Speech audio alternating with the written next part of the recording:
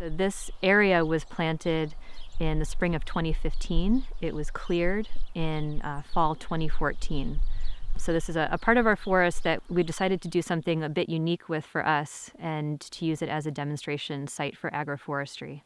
So this is a, a fairly young site and we're continuing to adjust our management to see what does well here. And part of that is to keep really good records of, of who's doing what types of management activities, what are the impacts that we're seeing to the plants that will help us adapt in the future.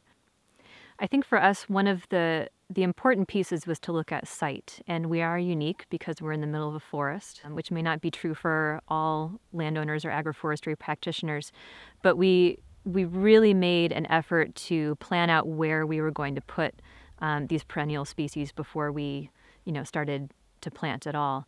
Um, we're not digging drainage. We're not altering the landscape in any significant way, as as um, some farmers might for certain agricultural crops where it makes sense. And so we laid out the plants here based on the topography of the site.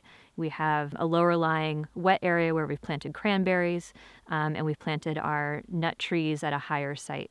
It's really important to look at microclimate and the qualities of your site when you're planning out um, what you're going to do, especially with these crops that are, are extremely long lived, um, and to make sure that you're making good decisions at the outset.